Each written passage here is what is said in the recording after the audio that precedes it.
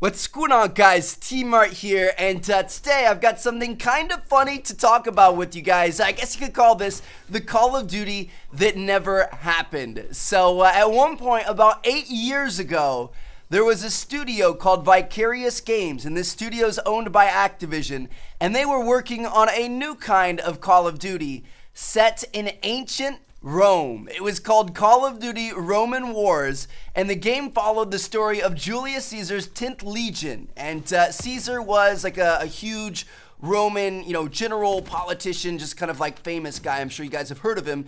And uh, his 10th Legion was kind of like his special forces, like his SWAT team or his Navy SEALs or, you know, whatever you want to say. And uh, so this game was based off of that. And it featured everything from first and third person sword combat, riding on battle elephants, which could, you know, stomp on different soldiers. And, and you know, they were actually like a war tool. Um, there was riding horses around. There were working catapults. There was all kinds of stuff. And uh, they said that it was primarily sword versus shield combat Unfortunately, the development was stopped before they got to like, you know, bows, spears, and, you know, all kinds of stuff that, you know, you shot at enemies. There's even a feature in progress where you're going to be able to throw sand at people as kind of like a, a visual deterrent, kind of like a flashbang or a, a, you know, stun or something like that. But uh, yeah, so most of it was based on kind of sword versus shield combat and like blocks and parries and timing things right. And we've seen a lot of games like that recently. Like some of you guys have played The Witcher or um, there was that one game, was it Rise, R-Y-S-E? It was a launch title with the Xbox One.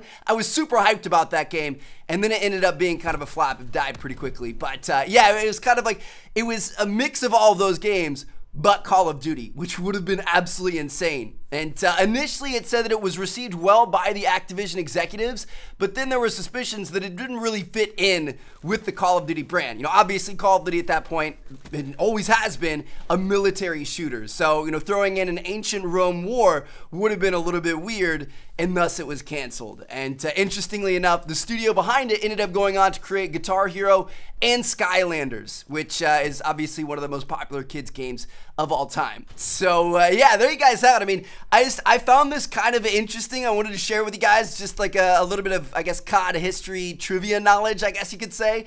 Uh, but just like think about if this would have happened, how crazy that would have been. I mean, think about what people are saying today. They're saying that Infinite Warfare is too far from Call of Duty's roots. A lot of people aren't happy that we're going this far into space and this far into the future, and they just they want that old school boots on the ground, gritty kind of like World War II, uh, you know, era shooter Think about what they would have said if we went back to ancient Rome.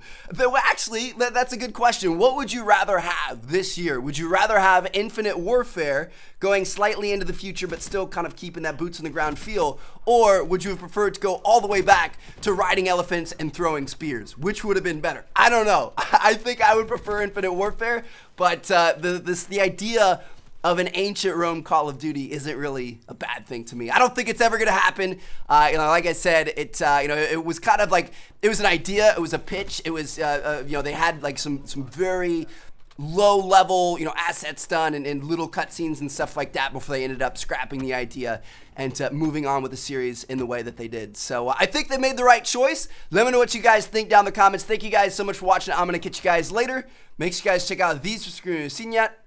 Peace out. Hey!